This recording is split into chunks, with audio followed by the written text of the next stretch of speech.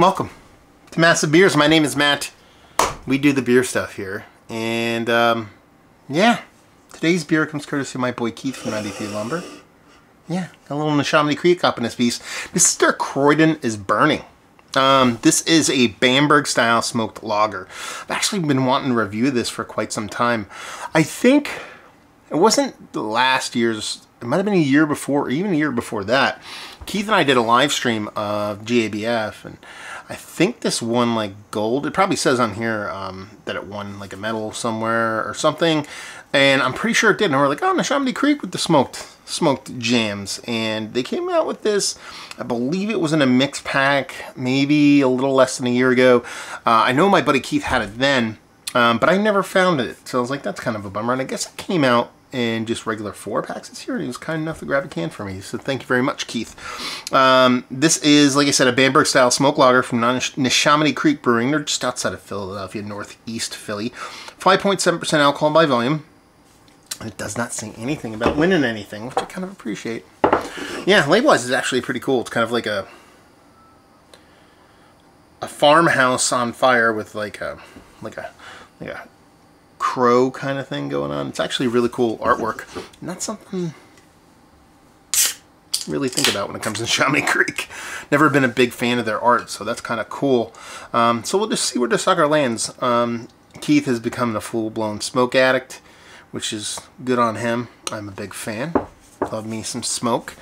And uh, yeah, so let's see what Sucker has to offer. Uh, first things first, it looks all the part of like a nice rich kind of basically Bock. You're looking at a double Bock level kind of coloration here, this rich kind of reddish hue with a decent dollop of brownness to it, just over an index finger of infinite kind of creaminess going on. So it looks the part of a nice kind of rich Bocky kind of beer. Very much um, a double Bocky. Uh, soft little haze to it. So, yeah, let's even get a nose.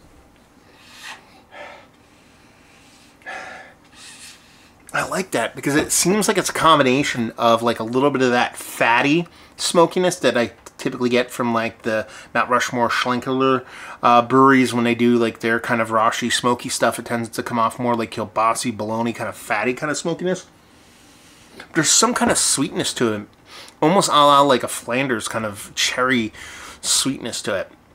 So it's got this sweetness and richness, uh, Flanders sweetness, no sour or tartness on the nose, but that kind of cherry to it. Maybe more like a Bocky kind of sweetness since we're on that kind of um, on pathway. And it has that nice kind of uh, fatty, all not that aggressive kind of smokiness. It's definitely there in the nose. And it comes off as this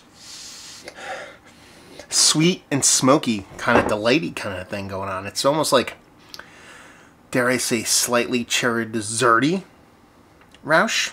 Could it be? Let's just dive in. Cheers, y'all.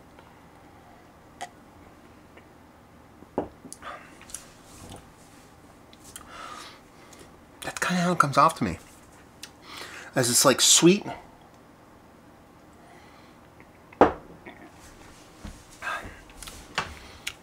Cherry smokiness. Yeah, this is a cool beer. Uh, first things first, I'm going to start with the negative. Infinitely overcarbonated. Like, way overcarbonated, like almost at a point where it's like soda-like when you drink it. Now, as someone who kind of, more often than not, if I'm going to let have something go a little bit less carb or a little bit overcarb, I like it to lean more a little bit overcarb than undercarb. I don't think that really plays all that well with Rauch beer it kind of tempers a bit of the flavor profile in there. Almost like that kind of, um, the way um, carbonic acid kind of does it with hops for me.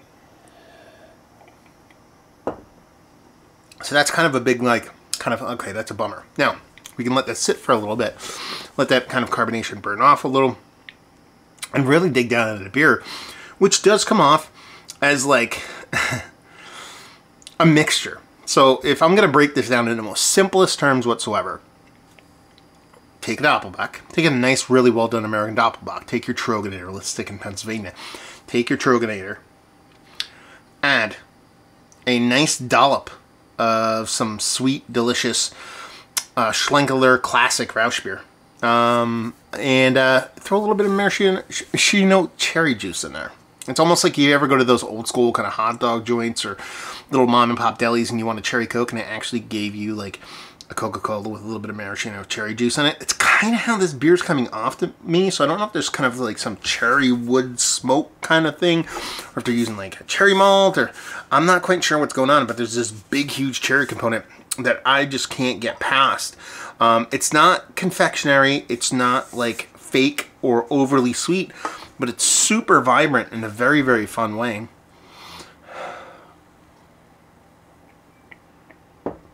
And it's really kind of clean, crisp, denser kind of mouthfeel. Why my little light go out there? Sorry about that.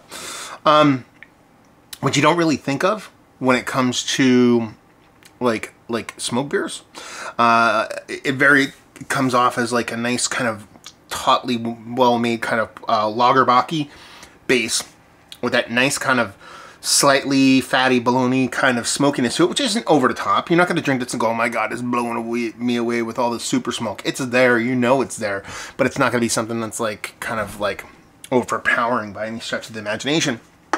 And it is that cool kind of cherry component to it that really I kind of can't dismiss in any form or fashion.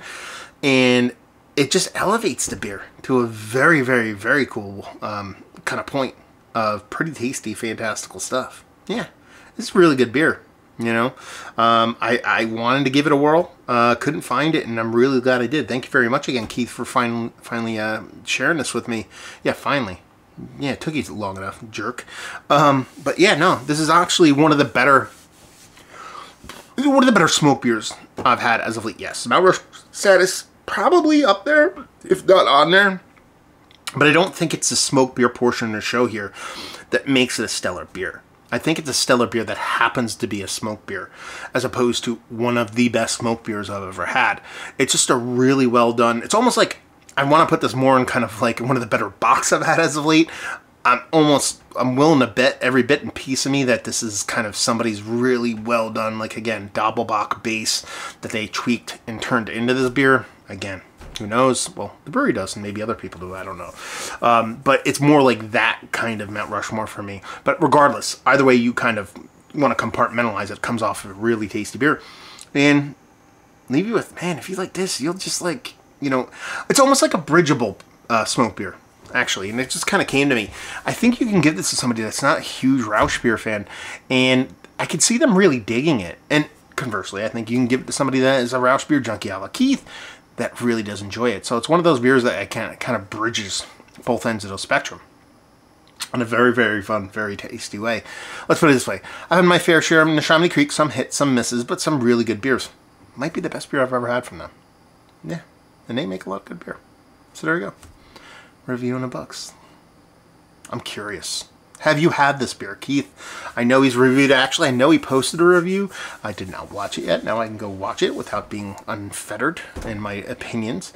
Um, have you had this beer? Have you had the previous version? Have you been in Neshaminy Creek? What do you think of the brewery? What do you think their beers? All that stuff down there. There you go. Review over. So hopefully you guys enjoyed the review. Uh, hopefully you're enjoying a little smoke right now. I'll see you next time. Cheers, y'all.